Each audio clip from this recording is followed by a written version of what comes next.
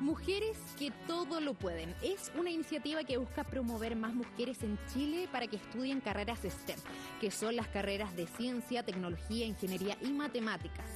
con muestras de brazos robóticos industriales y Oculus de inmersión al metaverso, se celebró el encuentro en el Liceo Chileno Alemán de Ñuñoa, que busca evidenciar las brechas y la importancia de empujar a que más mujeres se interesen en las carreras STEM, ya que de acuerdo con cifras del Ministerio de Educación en estas carreras, 3 de cada 10 estudiantes son mujeres, lo que equivaldría al 12% del total. A través del sitio web mujeresquetodolopueden.cl puedes encontrar todos los detalles para los cursos y charlas de participación que se promueven mediante esta importante iniciativa. A continuación vamos a escuchar las declaraciones de Elisa Torres, quien es, es fundadora de Girls in Quantum. Lo más importante para mí es ser busquilla,